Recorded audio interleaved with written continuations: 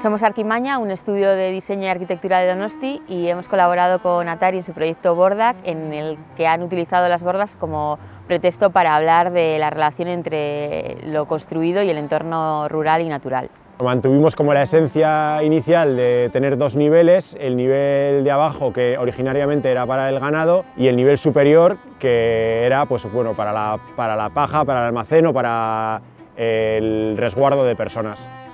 Lo que hicimos en el taller fue preparar unos, unos planos, un despiece de, todo lo que componía eh, la borda y explicamos eh, a qué correspondían cada, pieza, cómo iban montadas y dividimos a la gente en, pequeños grupos para que fueran montando las, las piezas y entre todos pues fuéramos poco a poco uniendo todas.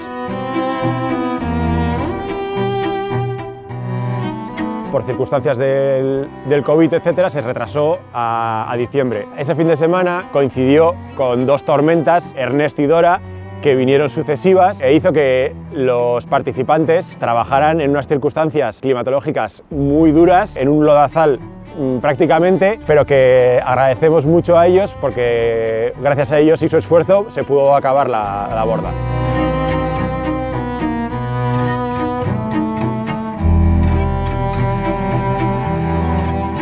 Y una vez montado la, primera planta, eh, entre todos, eh, en un momento bastante delicado y de bastante tensión, lo giramos todo y lo pusimos sobre la cimentación.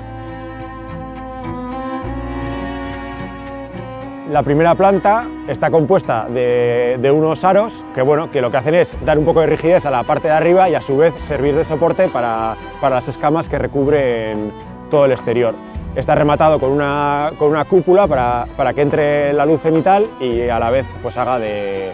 haga de cubierta. El resultado final ha sido que en la parte de abajo hay un banco para reunirse en torno a un fuego, a un fuego ficticio, porque no se podría hacer fuego, y en la parte de arriba un espacio como más, más místico en el que solo tenemos vistas del, cielo, la luz es cenital y es como un lugar eh, más conectado con las estrellas y lo mitológico. El sitio en el que está ubicada la borda está justo al lado de un paseo que une los barrios de San Martín y Gregorio de Ataun, así que es un sitio que se puede visitar. La borda va a estar en principio hasta principios, mediados de enero,